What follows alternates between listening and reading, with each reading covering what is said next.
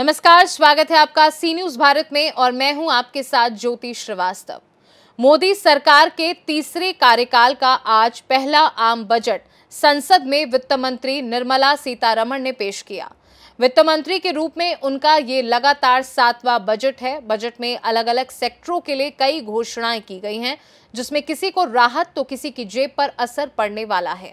खासकर आम आदमी को बजट का बेसब्री से इंतज़ार था। उसे उम्मीद थी कि इस बार उसे बढ़ती महँगाई से थोड़ी राहत मिलेगी और सरकार आम आदमी के लिए कुछ खास लेकर आएगी। लेकिन आम आदमी को इस बजट से कुछ खास फ़ायदा नहीं मिला। हाँ लेकिन सरकार ने कुछ चीज़ों के दामों में कटौती ज़रूर की। है।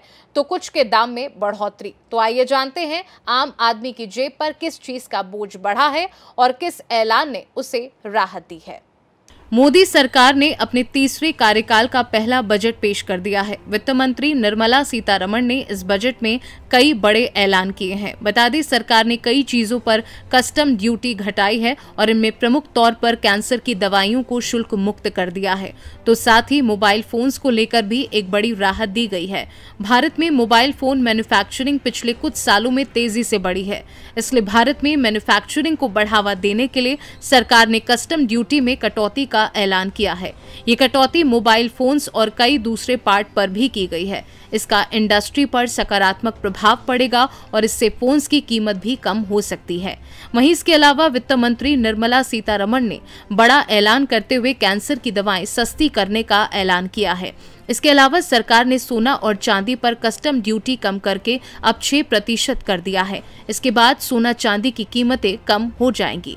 इसके अलावा लेदर और फुटवेयर पर कस्टम ड्यूटी घटाई है। वहीं दूसरी ओर टेलीकॉम उपकरण महँगे हो गए हैं। इन पर लगने वाली कस्टम ड्यूटी को पंद्रह प्रतिशत कर दिया गया है। सीधे शब्दों में अगर आपको बताएँ तो जो चीज़ें सस्ती हुई हैं, उनमें सोना चांदी इम्पोर्टेड ज्वेलरी प्लैटिनम पर कस्टम ड्यूटी घटी कैंसर की दवाएँ मोबाइल चार्जर मछली का भोजन, चमड़े से बनी वस्तुएँ, रसायन पेट्रोकेमिकल पीवीसी फ्लेक्स बैनर इन सभी चीज़ों के दामों में कटौती हुई है।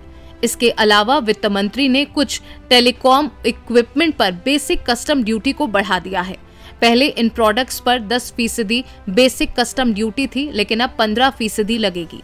सरकार ने प्लास्टिक प्रोडक्ट्स पर भी कस्टम ड्यूटी बढ़ाई है। इसका मतलब है कि प्लास्टिक से बनी चीज़ों के दाम भी बजट के बाद बढ़ सकते हैं। सोलर सेल या फिर सोलर मॉड्यूल बनाने के लिए इस्तेमाल होने वाले सोलर ग्लास पर भी टैक्स बढ़ा है। इसका मतलब है कि सोलर सिस्टम लगवाना अब थोड़ा महँगा हो सकता है।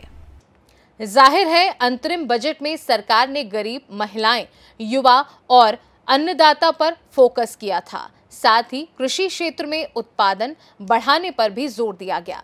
लेकिन वहीं दूसरी तरफ़ महँगाई भी तेज़ी से बढ़ी थी, जिसने आम आदमी की जेब पर खासा असर डाला।